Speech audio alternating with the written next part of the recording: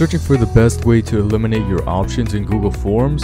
Well, we got you covered. Choice Eliminator for Google Forms is the best and only tool out in the Google Marketplace to help you cross out multiple choice options, drop downs, and checkboxes. The difference between Form Choice Limiter and Choice Eliminator is that this add-on doesn't remove options. Instead, it crosses them out and restricts them from being selected. If two people were to choose the same option and submit it, Choice Eliminator won't allow that, which makes it different. To get started, head over to the Google Marketplace and in the search bar type Choice Eliminator for Google Forms. After installing, create a Google form where you wish to make limits. Click on the puzzle piece at the top right and select the add-on. A small tab will pop up on the bottom right you can make this tab bigger by scrolling to the bottom and clicking on Go Full Screen. Whenever you try to preview your Google form, do not use the preview button that is on the Google form. Instead, use the preview button in the configuration bar, or use the link.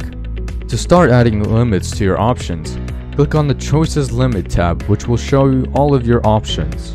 From here, you can type a custom limit number in each box or you can add the same limit for all choices by scrolling to the one-click apply limit for all choices and typing in a number there and by pressing apply you'll automatically have the same limit for all choices. By clicking on the additional settings tab, you can get emails whenever an option reaches its limit by checking the notify me when the limit is reached box and adding your email. You can also schedule when you want your form to be activated and, you, and when you want it to be deactivated.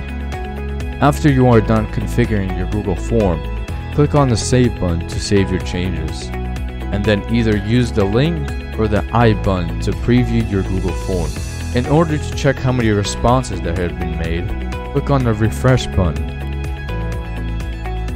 If you want to get rid of all the responses, click on the Reset button. Warning, you won't be able to recover your old responses if you reset your Google form.